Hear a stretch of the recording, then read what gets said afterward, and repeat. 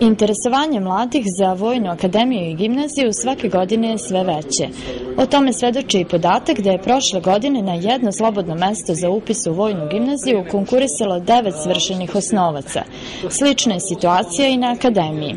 Razlog za to su dobri uslovi školovanja, siguran posao nakon diplomiranja, kao i ugled koji ove ustanove imaju. Mi ove godine na Vojnoj akademiji školujemo kadete po pet studijskih programa.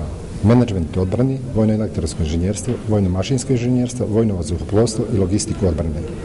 Naši kadeti su na budžetu Ministarstva odbrane, što znači da im je obezbeđen smeštaj, ishrana, uniforma, e, učbenici, školski pribor i imaju mesečnu stipendiju, odnosno platu u zavisnosti od godine studiranja ili od uspeha koji postignu od 10 do 15 hiljada mesečno. U narednoj školskoj godini na Vojnu akademiju biće upisano 150 kadeta i 35 kadetkinja.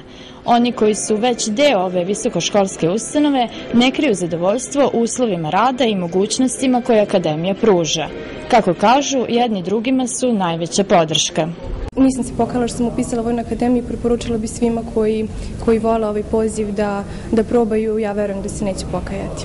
E, bilo je naravno i trenutaka kada, je, kada koji su zahtevali da budemo ako psihički i fizički jaki, ali naravno sve se to uz dobro društvo i uz, uz pomoć kolega i oficira naravno pre, prevrati. Kad završim akademiju imam zagarantovan posao, Inače, što se tiče samoorganizacije na visokom nivou, prve dve godine su obaveze što se tiče vojne obuke, a zadnja treća i četvrta godina su čisto isključive oko svog smera koji sam se opredelio.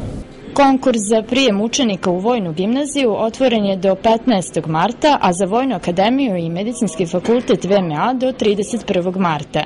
Zainteresovani kandidati mogu podneti svoje prijeve u regionalnim centrima Ministarstva odbrane.